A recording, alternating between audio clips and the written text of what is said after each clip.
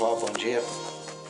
Estou novamente aqui para conversar com vocês e para dizer que é, e para falar sobre a fatalidade que eu vi na televisão ontem. Eu particularmente não gosto de televisão, não gosto de jornal. Eu, eu vi uma reportagem sobre uma mãe que espancou durante duas horas e matou o próprio filho.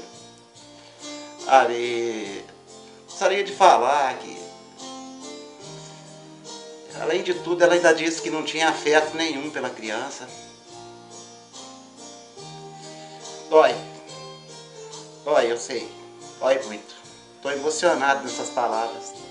Deus, tanta gente que sonha em ter um filho, paga horrores para gerar uma criança.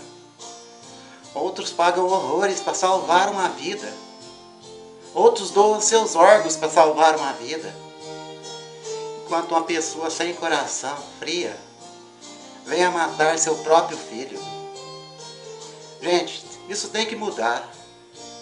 Isso se torna uma vergonha para o nosso país. O Brasil é um país tão lindo, um país rico, grande produtor, mercadorias, inteligência, futebol, arte, trabalho.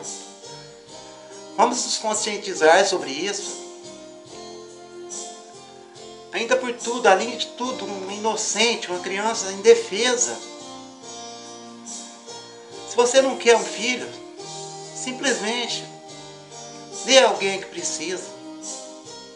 Não sinta vergonha. Se você não gosta, se você não tem como criar, não abandone, não despreze seu filho. Eu perdi meu pai, eu tinha 25 anos, eu vivi 25 anos ao lado do meu pai. Um dia antes do meu pai se morrer, de morrer, aliás, perdão, meu pai me chamou e me deu a benção. Eu tomava a benção do meu pai. Aos 25 anos, ainda beijava a mão dele. Foi uma perca.